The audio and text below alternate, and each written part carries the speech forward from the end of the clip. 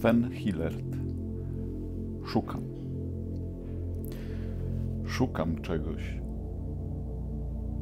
więcej niż to, co widzę. Czegoś, co jest wewnątrz, ale nie tylko. Czegoś, co jest przyczyną, ale i celem tego, co się wydarza.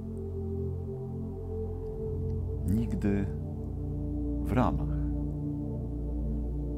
Zawsze dziwne.